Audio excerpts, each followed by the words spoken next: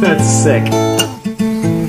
Oh, it's hard, of course. It's doing the rhythm and the soloing, and then you should make you put some singing on this. Blues.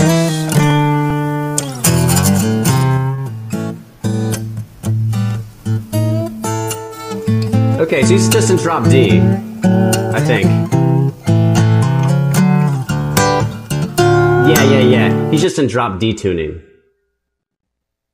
Which is kind of that's kind of a cool way to play slide. A lot of times, the people I studied from studied from copied the people I copied played open tuning like open A, open E major. I mostly did open E major, but whatever. Ooh, wait, hold up.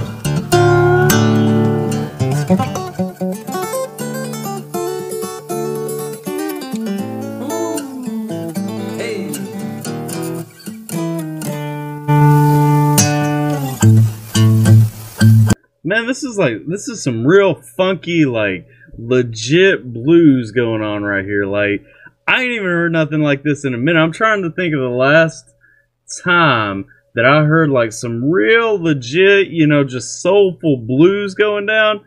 Man, that's dirty.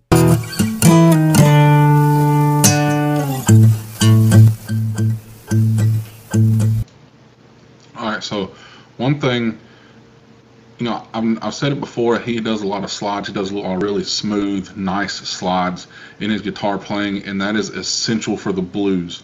And I've already seen so much of that, and it's just as smooth as when he does any of his other covers to big major songs. So, yeah. Also, if you notice, it may be a little bit smaller on what you're seeing than what I'm seeing, but if you look at his thumbnail, it is much longer than any of his other nails, and I'm sure him, probably his ring finger as well. Um, I know a lot of big time guitarists like Zakk Wylde, a lot of people that use finger style picking tend to keep those nails a little longer um, and thicker or you know stronger for picking. So.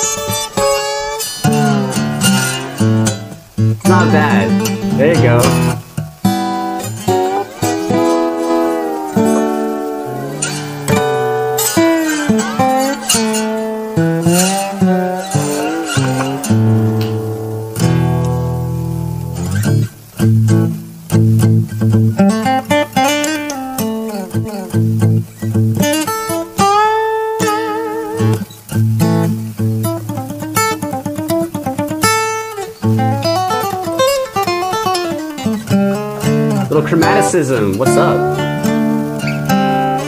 Hey.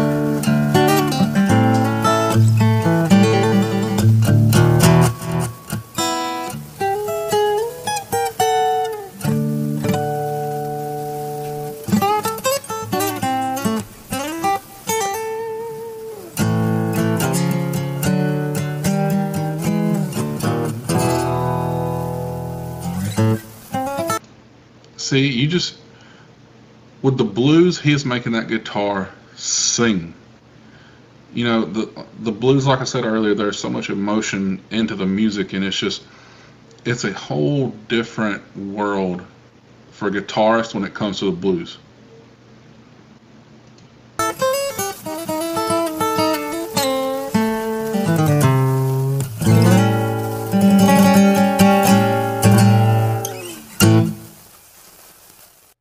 That gets Alip my vote for the Blues Brothers reboot movie, man.